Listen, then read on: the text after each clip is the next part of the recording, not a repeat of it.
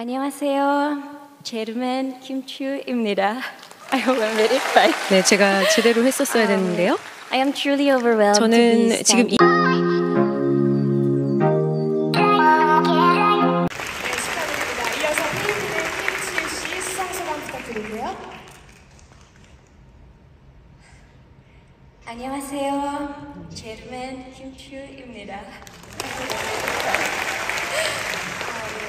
I am truly overwhelmed to be standing here tonight.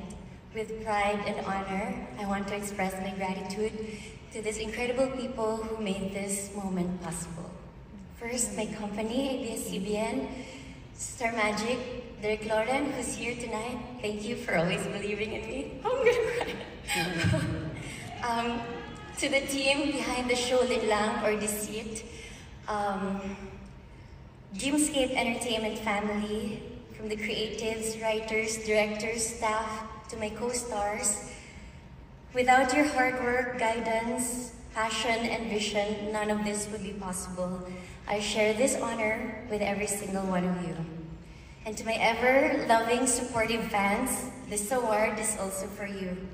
Your unconditional love, efforts, and belief in me have always been my source of strength, and for that, I am truly grateful. And lastly, I want to dedicate this honor to the person who is no longer with us, my boss, my mentor, and a dear friend, Sir.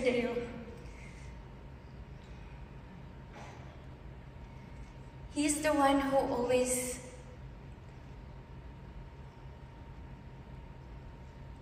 He's the one who always pushed me to be my best. And he's the one who always guide me to do the best that I can be through hard work and led with kindness. And for that, Sir Deo, I want to honor this award with you. I wouldn't be standing here tonight without your trust and guidance and opportunities you gave me. Thank you so much, Rodeo. I want to honor this award to you.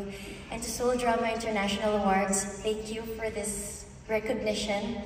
This is a dream come true for me to represent ABS-CBN and my country, Philippines. Maraming salamat po. Kamsahamnida. Sabi